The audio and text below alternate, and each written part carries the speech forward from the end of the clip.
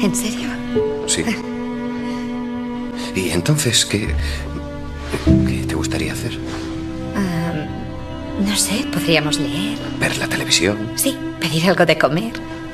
¿Podríamos hacer eso? Sí. Sí.